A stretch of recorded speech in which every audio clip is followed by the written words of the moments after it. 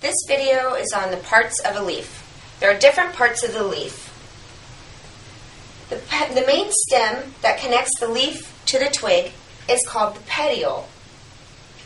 The main vein in the center of the leaf that goes from the bottom of the leaf to the tip of the leaf is called the midrib.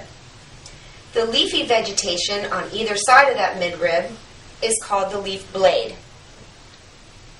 The sides of the leaf blade are called the margins. The bottom of the leaf blade is called the base, and the tip of the leaf blade is called the apex.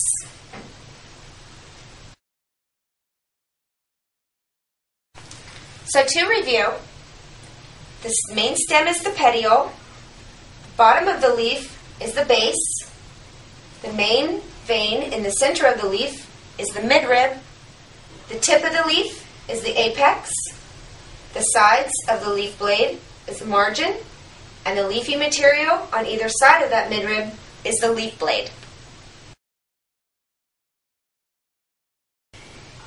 There are many terms used to describe the different shapes of a leaf, its apex, its base, and its margin.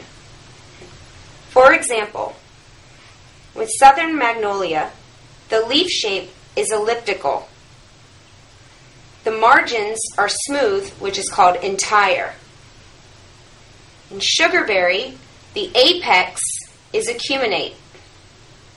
The base is inequilateral. Inequilateral means that the base of the leaf blade is not symmetrical. With winged elm, the margins are doubly serrated. As you can see, learning the terminology is important to making plant identification fun and easy.